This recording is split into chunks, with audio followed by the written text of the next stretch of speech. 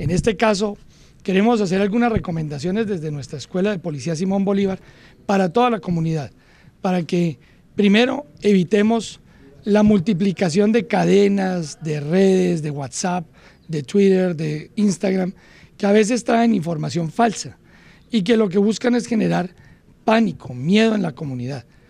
No es absolutamente cierto todo lo que sale en las redes sociales.